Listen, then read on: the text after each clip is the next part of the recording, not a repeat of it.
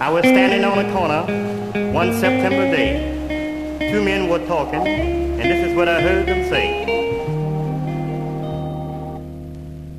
Good morning, sir. How are you today? To a lawyer man, I've got nothing to say.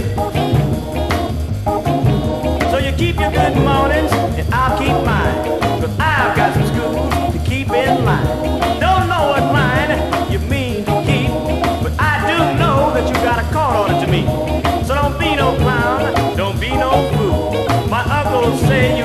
Gotta up these schools.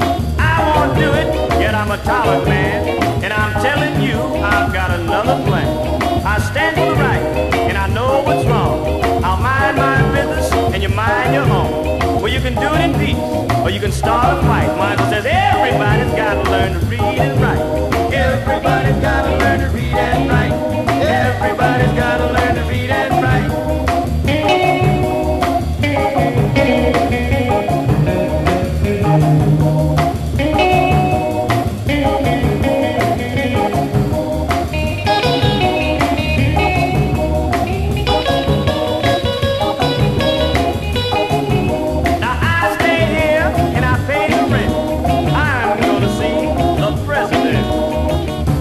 fought a good battle. You lost the battle. So go on home and carry the court orders out.